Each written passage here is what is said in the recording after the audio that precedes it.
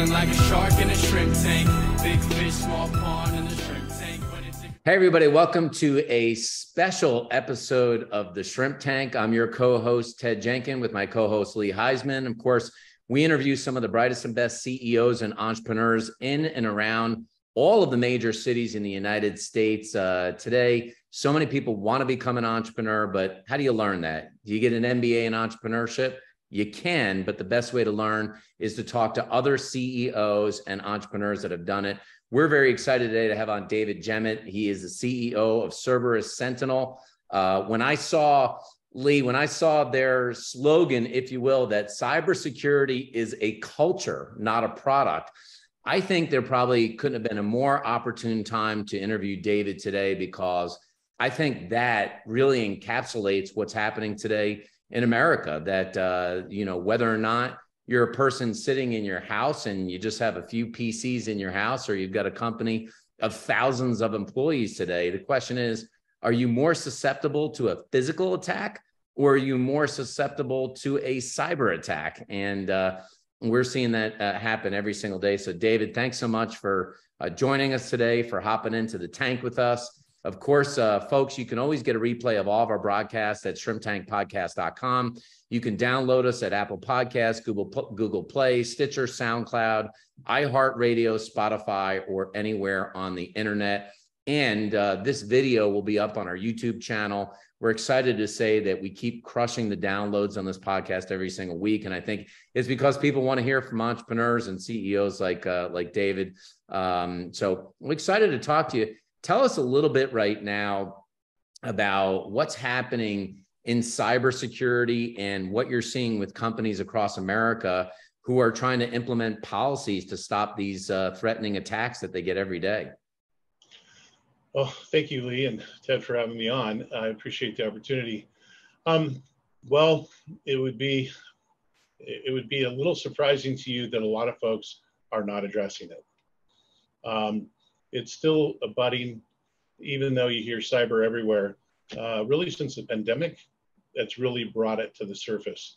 But a lot of people are still, believe it or not, don't want to know what they don't know because they're going to have to fix it, which costs money um, but it is a it is a landscape that if you're in cybersecurity, it is an actual concern that people should be aware of. And I think training and understanding what really happens is yeah, is David. I, I, know because Lee and I both uh, you know own companies, we've sold companies ourselves, and when you talk about this concept of it being a culture, am I mistaken in thinking that this whole concept of of phishing is is maybe the number one things that happens at companies today that there are people that impersonate the CEO of the company asking them to buy gift cards or they send an email that tries to get you to click on something that you shouldn't click on? And is there training today to get companies better at this so they can they can basically install this as part of their culture? Absolutely. There's several training companies out there. Um, the one we use and we partner with is KnowBe4 and they actually do phishing expeditions. Uh, Stu's company and Kevin Mitnick, they just sold actually, um, mm. but they really specialize in helping people understand what the issues are, real life scenarios, and they run phishing expert, exp, uh, expeditions. So if you click on it, it'll take you to a page and go, whoop, you shouldn't have done that. In fact, every 11 seconds, someone is being targeted or hacked. So that's that's a pretty serious number. And what is the biggest link, weakest link inside a company is the people not being prepared or understand and clicking that button. So true. And, you know, I want to clarify for listeners out there when David or Ted speaks of a fishing expedition, this is not off the coast of Florida or California with the letter F. It's with the letters PH. And you can do a little research on your own to find out exactly what David's speaking about, but that's more of a cyber direction. I wanted to be clear, David, as you, you know, we have our listeners, like you said, David, although it's a very popular hot topic, most people don't address that. And I would like to find out in your experience, what aspect of cybersecurity do organizations struggle with the most? I think understanding it. Um, a lot of, uh, this is my seventh company, but I've dealt with a lot of C levels, Fortune 5000, Fortune 500. And it's interesting, the reason we trademark cybersecurity as a culture, not a product, because it's from the top down. and they don't understand it, it becomes a black hole. And so, how can you address something you're not understanding? How can you push that trickle down effect to the, everyone else? Um, and just to kind of elaborate a little more, fishing essentially is like fishing in the Atlantic or the Pacific because hackers throw out lines and they don't know if they're going to get a little fish or a big fish. They're looking for the whale. I like that. That's very, very true. Sorry, Ted. I, I was going to ask, you know, we, we have a lot of small to medium sized business owners that listen to our podcast and they're growing their businesses. And I feel like IT services in general is something a lot of them neglect. You know, they get five employees, David, they get 10 employees. Where's the best place for them to start with all of this? You know, if they don't have a policy in place today, they know nothing about how to protect their company's IP or all their information or what's in the cloud. Where, where, do, where, do, where should someone start with this that has, you know, 10, 20 employees? Candidly, find a trusted advisor. There's a lot of folks who, and I want to make a differentiation. So IT is different than cybersecurity. IT mm. puts systems together and they try to secure it after they design it. We think like hackers, so we always say this security by design. They really should start any kind of application or implementation services by understanding how to secure it first. A lot of people don't understand it, so it pays to go get someone to help them through that process, but make sure they're professionals because I always use the analogy if you get in a car accident and go to the emergency room, do you want a dermatologist or a general practitioner working on you or a new person out of college? Or do you want someone who's got 12 years, 15 years of experience? That's exactly right. No, I, I can't echo that enough. You're exactly right. Find the professional. We promote that through entrepreneurship, David, that you know you you make your widget and you surround yourself with the other experts that make yours or make theirs. But there's something that I read about your firm, what I found to be very impressive is your firm is technology agnostic. Can you speak to that? Because that seems to be a theme of your organization. It's a very important theme. When I started the organization, um, some of these C levels I can't talk about, some of the companies, they would call and go, they were friends, and they'd say, Hey, I need you to help me. I hadn't even started the company yet. And I said, Okay, play, well, let's play golf and then go to dinner, and tomorrow I'll come check it out. And they would show me a $1.5 billion line item that says cybersecurity. and I'm like, okay, I'm one guy, but I we have to dig into it. So the issue is is understanding cyber and how it works. A lot of people think about any product in cyber right now. You can think of five or six. They lead with that product. Most of the time, they have someone else install it or they install it without looking holistically at what else they're what else they're using. So they may have firewalls. They may have, uh, you know, uh, a SIEM or an MDR products that help track anomaly, but they're not working together. And so what we found is we go in and look at the products they currently have. We make them work together. And then if there's a missing piece, we'll say, here's three products that you can look at. Here's the pros and cons. And it'll help you become more secure. And they're really tired of just buying products and have them installed. And in fact, we've seen some products installed from just the basics and they didn't install it to curtail to the company's needs. That was a Fortune 500 company, which was a little shocking.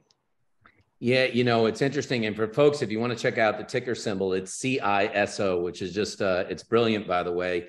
And uh, it seemed to be a hot topic now, David, about Elon Musk, you know, buying Twitter and uh, you know this whole notion about whether um, somebody is verified meaning that you know they're going to either guess get a gold check or a gray check or a blue check whatever that's going to mean in the end. Um, but people get worried that you know there are bots that are hacking out there. Uh, what, what does that even mean to the average business owner or consumer when they hear this idea that there are bots attacking you? It sounds like so you know space odyssey 2000 for people. It, it's actually real. 30 to 40% is estimated the traffic on the network, which is a lot of traffic, are bots. Um, they're looking for information. Have you ever noticed Amazon when you say something around an Alexa, the next thing is on your browser, right? No. you had that happen. Okay. So hackers have become smarter. They're very educated. Mm-hmm. They spend 24 hours a day working in groups to perfect things to make it easier for them to get into. So what they do is, we'll use the fish analogy, they throw a net out with these bots, just think of nanobots, and they go out and search and ping all the information sure. and they, they come back. These bots send information back, go, here's an easy target. Here's an easy target. And so most of the work's done. Now they just have to go in and exploit it. And so that's what the bots are out there for. It's marketing, it's you know, gathering data, but a lot of it is hackers seeing how they can exploit companies as well as individuals. So here, here's what's um, fascinating to me. And you, know, you grow a company like yours; it's a highly technical uh, topic of cybersecurity, and you have to go find talent. And as we know, talent is in short supply today. It's not easy to find talent. But I'm wondering because there are a lot of owners that listen to the show that have technical businesses. How do you how do you hunt for talent in the whole cybersecurity space, and then how do you know whether you have somebody that knows what they're talking about with cybersecurity to begin with? Do they do they sit down and take a hacker test or something like that? Well, we are very unusual in our business, and I'm afraid to even talk about it because you have such a large audience. There is four million job openings today in cyber. It has been zero jobless rate since 2011. Wow. Gartner Forrester says by 2025, there will be 12 million openings. I actually, when I need something, I call my frenemy who is a competitor that jointly work together to solve problems. So you can't hire one or two. And to actually give you a really good example, one of the executives of Microsoft called me because I've known him forever hey dave we just solved our cyber we had a, couple thousand recs open we just solved it. You've got a great business. I said how's you do that? You buy companies we go through 25 30 companies before we find somebody that's who fits our culture and also is really bright and knows what they're doing before we actually bring them into the fold. We've publicly we have acquired 16 companies around the globe in the last 18 months two years Wow. That's where you find the talent because again, mm-hmm. do you want some kid coming out of college and there's a hack? You need to know how to investigate it, document it, save the information, chain of custody, so that you can prosecute or find it out. Most IT folks, we need them. There's a shortage, but they turn the machine off and turn it on. And there goes all the logs of everything that took place. And it cuts off the information so that bot or that program says I can't talk, it starts encrypting all the machines. So it needs to very, you need to handle those things very, very, very, very carefully. But mm. training, teaching the people the right training methods. Uh, if you're monitoring networks, you need to know what to look for. So we have gone out around the country and we typically look at 30 companies before we actually find one we want. We may or may not buy it or merge with us. And so what we've done is gone around the globe, found those companies, and that's the whole reason we went public the way we did, is it's self-funded. We actually have them private private chips. Basically say you're turning your private chips in to be public, but we want you to come with it. And then we give everyone who's worked with them before options in the company. 99.2% of this company is owned by the people in it. You know, mm. so I love that you said frenemy. And for for entrepreneurs, owners out there, David, you've cornered the market with that. Ted, I'm listening to David, and instead of him trying to uh, investigate and interrogate all these new employees for credibility, you're simply procuring them from purchasing quality companies so you know you have a qualified staff. And in this high level of cybersecurity, that seems to be the smartest way. That's very, I tip my hat to you. That's a very smart way to go about it. But cybersecurity, David, is changing. You know, I would say every week, every month, is probably every couple seconds there's something changing with it. You're a leader on, on the planet in cybersecurity. People are turning to you. How exactly do you stay ahead of the curve? How can you stay with the ever changing environment that you're in? Well, um, everybody outside may find this, you know, not good thing to say but we're geeks and nerds, and we're proud of it. the company is run by geeks and nerds. Everyone here understands it. And so we keep involved learning. We learn ourselves every day. So people go, Oh, I went to darknet. Well, you can't get there from your regular browser. You have to be invited. So we have some of the top talent going in and researching the new techniques being used so we can actually combat that and help our clients. David, let me interrupt and say something. And I've said this for years in the world of technology, and you said it best. Uh, when I have open heart surgery, I don't want my cardiac surgeon to be the friendliest, most personable person. I'd like him to be the geek and the nerd that knows exactly what he's doing when he's performing open heart surgery. So yours is the type of firm where I say stand proud as the geeks and nerds because you're the ones that are doing the heavy lifting on the front end. Yeah. And just to finish what I said, Microsoft put, and if you look it up, put Mandiant under contract, but not exclusivity for 3.7 billion. Google had the same problem, so they bought them for 5.2 million the next Tuesday in exclusivity. they solved the problem because they can't hire one and two. You know, one of the things that that's interesting in here, and I'm wondering if you're able to talk about this being a publicly traded company, but I think it, you know, obviously you've been involved with private companies as well, is that there's always this term for entrepreneurs that that growth sucks cash. And and uh, when you look at at the revenues of the company, y'all have done an amazing job. You know, you see tripling the numbers, and even as they get bigger, the numbers are doubling every year what's the biggest challenges you face as a as a CEO as those revenues skyrocket and you hit that hockey stick? And and what kind of advice would you give an entrepreneur who might be on a smaller level about you know how to prepare for for growth? Well there's a couple different avenues but this is my seventh organization. This is self-funded all the way through. We had no banks no pe firms. Wow because we wanted to make sure that a businessman didn't run this or a board run it from a PE standpoint of you have to be profitable. We buy we brought companies in that are profitable, so it makes us profitable, gives us a customer base, we get the people, and we can cross pollinate. Like a training company can now use our pens testing services or our SOC services. So our biggest organic growth is internal uh, of our clients, which I'm proud to say I've done roll ups before. This isn't a roll up. 98% retention on clients, which is surprising. Wow. And that's because of the good people who take care of the clients for what they need.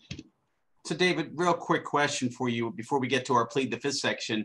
You know, being the entrepreneur that you are, owning and starting many businesses, what's what was the biggest differentiator for for listeners out there that have never gone public, which the majority have not gone public. What what is the biggest differentiator that you found the biggest challenge from owning your own businesses to suddenly going to a publicly traded company? Paperwork. this makes a lot of paperwork. And most companies, so when we file a 10Q every quarter to show our numbers, it's already stale because we've acquired three or four more companies. So that's the banks are behind where we're really at, and that's okay. They'll catch up. But going public you have to be spot on with people you trust from an accounting standpoint to keep current with the SEC. If you're profitable and making money, keep it private. The reason we took it public is because the PE and VCs who are doing the same thing we're doing but paying cash, the people inside the company only have A, B, C, D units. Well, what does that mean? When we give options, they actually have a meaning and they can watch it appreciate as they grow the company. So that's why we went public is to make sure that we kept everybody because everybody's a shareholder. And more importantly, they get to see their growth with the company and they work hard to make that keep going up and doing the best they can. That's the differentiator. But entrepreneurs, keep it, try to keep it internally, if you do go get money, make sure it's friendly money because they're there to make money on your money on your back. And there, there are companies who have amazing ideas who need that capital to grow fast. But if you can do it on your own, do it on your own. Otherwise, find a reputable group to give you capital who will feed you the money you need and do it in a friendly way. Well, it'll be fun here to do a uh, a little um, a little rapid fire. I think it'd be be interesting. Uh, not always the CEO you get on the rapid fire here. Uh, it's usually the other way oh. around. Uh, but you know, you've done seven different companies. You know, what do you think is the single biggest skill that you've learned through these seven companies that every entrepreneur should learn? That's an easy one. I learned it from the very beginning at 23. I had some great mentors and all I have to say, if you're the smartest person in the room, you're in the wrong room. You need great and if you don't have great people, you'll never have a great company. I had a dream on this one. I came out of retirement to start this so that I could make my friends, who are my friends, I'm working with them every day, over four, you know, almost 500 people. It's amazing to work with them, but it's also gratifying to see them all working together and growing together and they're very smart. And I could never have done this. It was a dream. It would have been a daydream if I didn't have people come work with me, and it never would have became reality. I love that. So, Dave, I, I, saw in your history you have experience with compliance, of course, and HIPAA compliance, which is a big healthcare. You know, if, if people don't know, everybody's heard that term. But there's so many compliance issues across so many industries. You know, OSHA for warehousing, HIPAA for health, you know whether you're getting into government work and in the world that you're in i don't want names you're a publicly traded company but i would like to know what is the largest horror story or what you can think of where you walked into something that you said oh my gosh this place is not compliant and they're taking care of all of this either data or or health information. Have you run into those scenarios where you could not believe? Now you might have been brought in to solve it but sometimes the extreme nature of how uncompliant some areas that should be are not I'll give you two quick rapid ones. One client uh, did a proposal and said right off the bat, CEO, you need to change your password being compliance because you have billions of dollars in intellectual property. And he goes, no, everybody else changes it except I won't.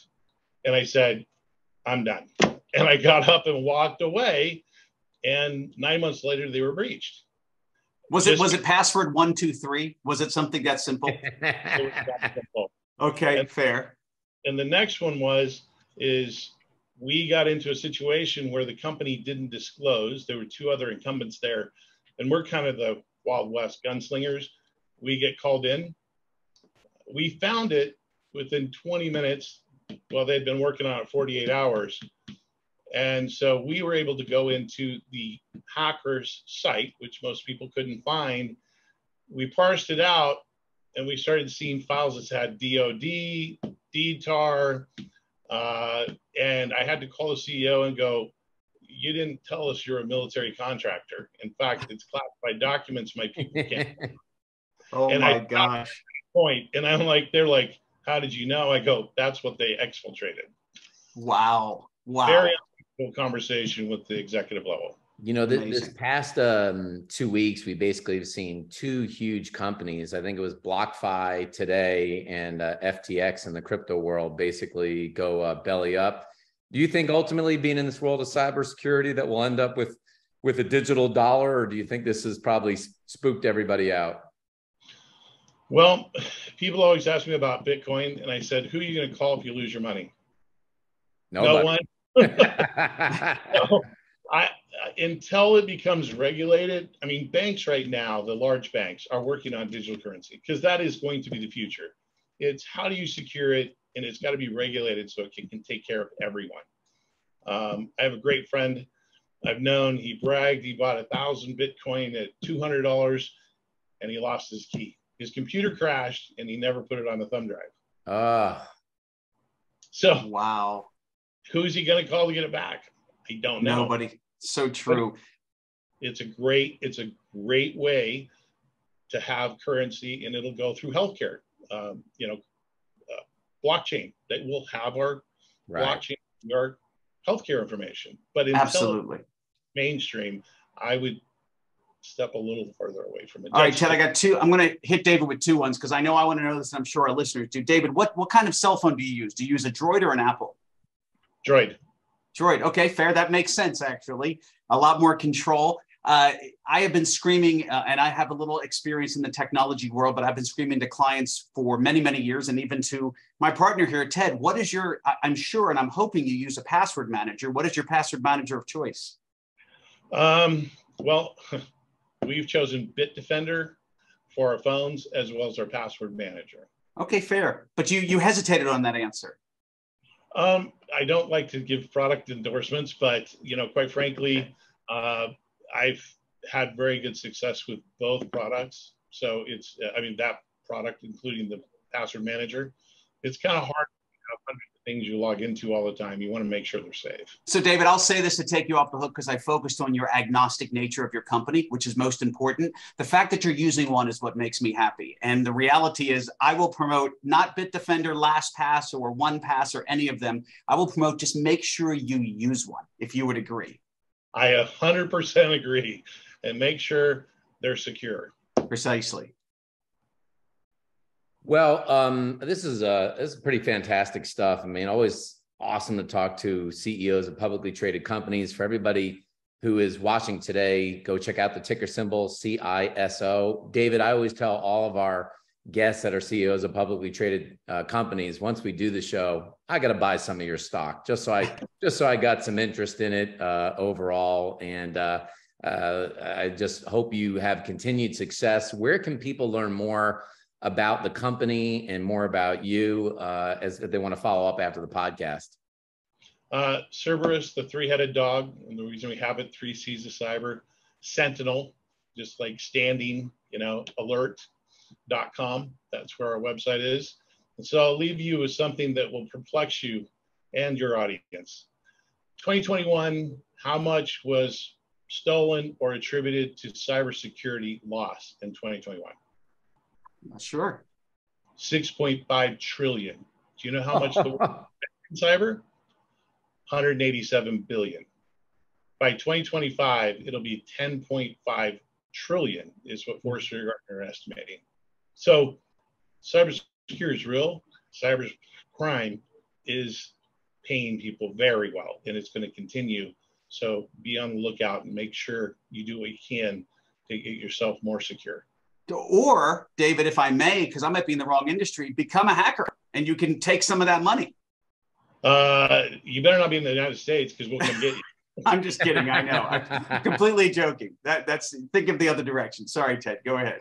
No, no. Thanks so much for joining us on the podcast today, uh, the Shrimp Tank. Everybody, make sure that you go watch the entire broadcast. If you uh, uh, shrimptankpodcast.com, go on our YouTube channel, or as I mentioned, just download us at Apple Podcasts, Google Play, Stitcher, SoundCloud, iHeartRadio, or Spotify. This is uh, great stuff today. We tell all of our business owners, listen, there are a lot of things you got to have in your business, and now cybersecurity. This is not a, a, a nice to do; it's a must do in your business. Um, go check out Cerberus Sentinel, uh, and thanks, David, so much for your time today. Continued success to the company. Thank you so much.